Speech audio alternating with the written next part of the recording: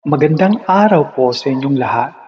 Ang didis ang i-discuss ko po ngayong araw na ito ay tungkol sa aking Google Pin.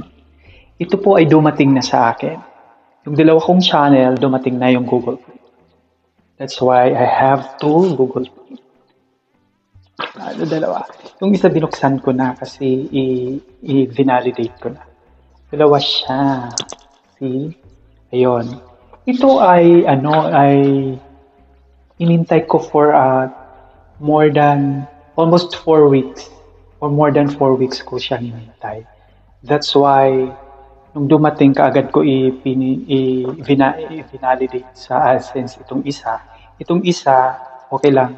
Uh, next month ko na lang i uh, ano i-encode kasi uh, hindi pa naman hindi pa naman sobrang kalakihan ng kita nitong isang channel. Pero itong channel na to, madami nang kita kaya kailangan talaga i, i may transfer na sa sa bank account ko sa BDO. So ano ang laman ng ano? Ganito ang itsura, nakalagay ang address at pangalan mo, galing Malaysia pala. Itong pars, itong letter na to galing Malaysia. Oo, galing Malaysia siya. Kasi nakalagay dito eh, uh, Malaysia International Hub, Post Malaysia, Malaysia Bihad, Jala, KLASI, Malaysia.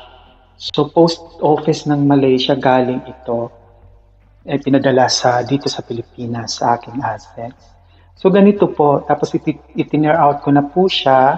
Nakalagay din po kung kailan na-receive ng post post office dito sa Pilipinas. Tapos yan po ang laman.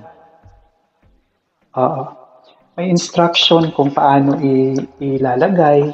Step 1, mag-login daw sa Google AdSense. Step 2, pumunta sa payment. Step 3, sa account information. Tapos verify address. Step 4, submit PIN. So ito yung ilalagay mo yung PIN na to sa account mo para ma-verify ka ng AdSense. Ganun lang po.